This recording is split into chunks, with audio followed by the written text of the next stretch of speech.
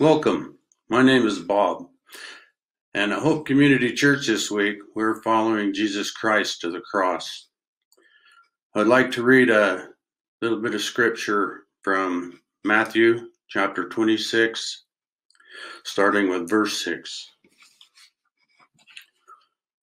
While Jesus was in Bethany, in the home of a man known as Simon the leper, a woman came to him with an alabaster jar of very expensive perfume, which she poured on his head as he was reclining at the table. When the disciples saw this, they were indignant. Why this waste? They asked. This perfume could have been sold at a high price and the money given to the poor. Aware of this, Jesus said to them, Why are you bothering this woman? She has done a beautiful thing to me. The poor you will always have with you, but you will not always have me. When she poured this perfume on my body, she did it to prepare me for burial. I tell you the truth.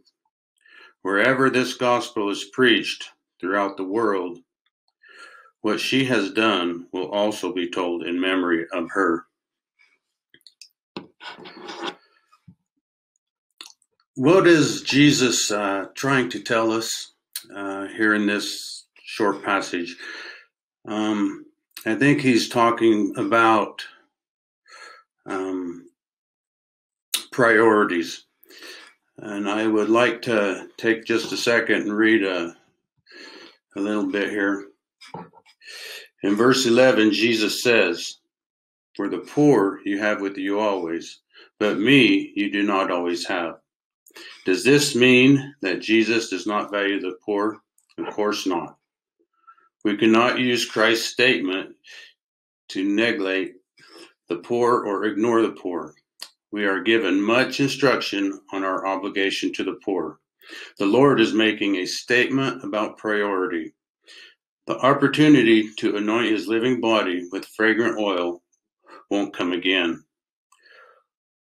What or who is the priority in your life? Your family? Your business? Have you placed the Lord at the top of your priority list? Have you made the conscious decision that you will place Jesus first in your life? Do you give the Lord or the work of the Lord?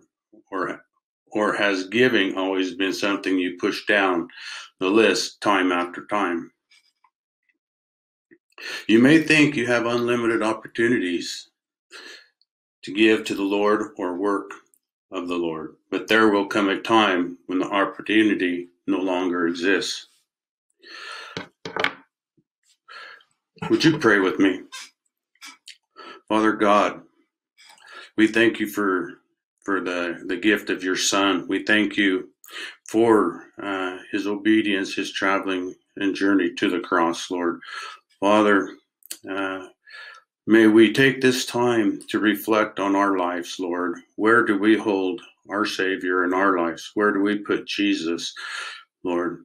Uh, may we evaluate and and look at our lives, and Lord, and and see where we are where we are sitting in this uh, in this area, Lord. I pray that uh, we can take and use this as a reminder May it open our eyes and uh, may we always strive to put our Lord Jesus Christ at the very top of our priorities, Lord. And I pray this in Christ's holy name. Amen.